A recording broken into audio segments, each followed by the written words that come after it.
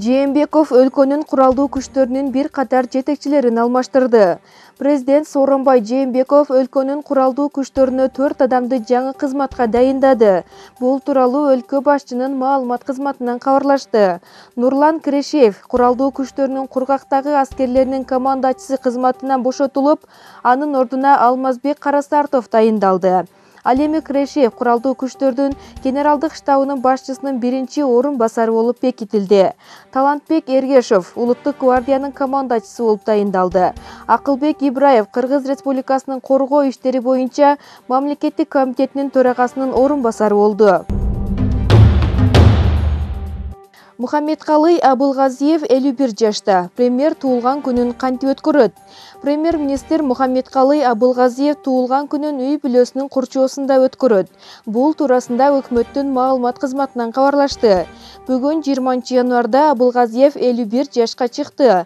Премьер министр бул күндү жакындары үй бүлөсү менен өткөрөт. Башка салтанат деле пландалган эмес деп айтты өкмөт башчынын маалымат катчысы султаналиев бишкектеги жаштар аллеясындагы көз айнек сынып калды. Бул тууралуу күбө спутник кыргызстан агенттигине билдирип сүрөттөрдү жөнөттү.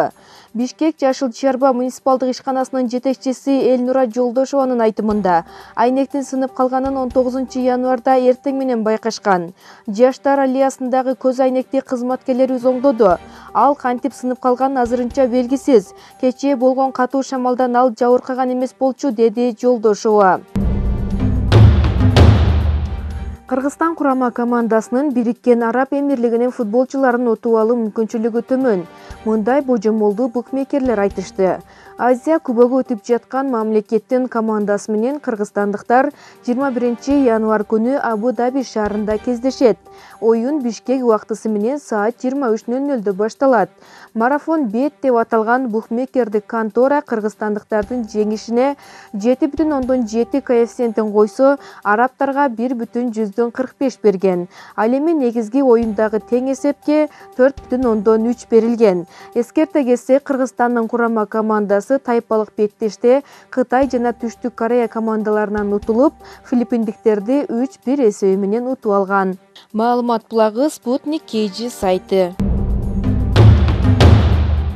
Улакчы манас ниязовдун аукционго коюлган формасы сексен миң сомго сатылды он тогузунчу январда белгилүү улакчы манас ниязовдун эки миң он алтынчы жылы экинчи дүйнөлүк көчмөндөр оюндарына кийген формасынын аукциону жыйынтыкталды. Форманы руслан аттуу мырза сексен миң сомго сатып алганы маалым болду. Жогорудагы каражат чүйдүн көк бөрү боюнча чемпиондугунда аттан кулап катуу жаракат алган улакчы дастан жакиевке берилерин көк бөрү федерациясынан билдиришти ал эми дастанын атасы алишер мырзага байланышканыбызда ал төмөндөгүлөргө токтолду. Уулумдун ден соолугуна кайдыгер карабаган манас ниязов баш болгон көк бөрү федерациясынын улакчыларына жана жалпы кыргыз элине ыраазычылык билдирем.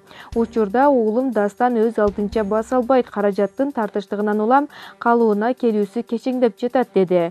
Буга чейин манас ниязовдун формасы аукционго коюлуп баштапкы баасы эки миң сомдон башталган